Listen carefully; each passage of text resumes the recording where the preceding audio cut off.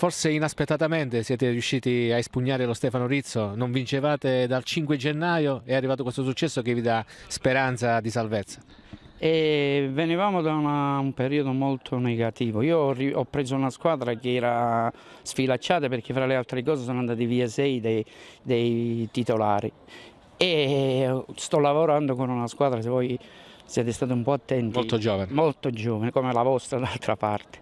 E stiamo lavorando cercando di raccogliere quello che riusciremo a raccogliere da qui fino alla fine, sperando di, di non arrivare almeno ultimi.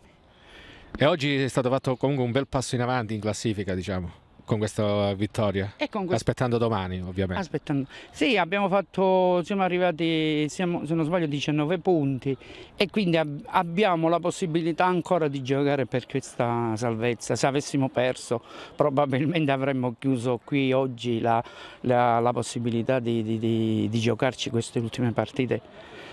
Però io spero che i ragazzi da, da questo spunto di oggi riescano a, a, ad andare avanti e e cercare di fare il più, più, numero, il più, alto numero di punti da qui fino alla fine. Battuto il Sambiase, l'ultima interna, oggi perso contro l'Apriliano, diciamo, diciamo, che passiamo da una grande vittoria a una vittoria che sorprende tutti, a una sconfitta che sorprende tutti.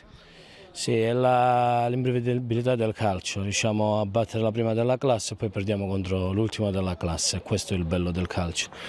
Purtroppo non siamo mai scesi in partita, non siamo mai scesi in campo, siamo stati timidi, contratti, non siamo riusciti ad esperire il buon gioco che avevamo fatto contro il San Biase anche domenica scorsa a Cassano. Siamo stati timidi, eh, eravamo imbottiti di giovani, però siamo stati timidi. Non era la stessa squadra che ho visto contro il San Biase e a Cassano, poi più passa il tempo più ti innervosisci. Poi quando si ci mette che non riesci a fare gol, nelle uniche palle gol che vai a costruire, alla fine arriva la beffa e questo è il calcio. Scalise e Federico sono partiti in panchina, come mai?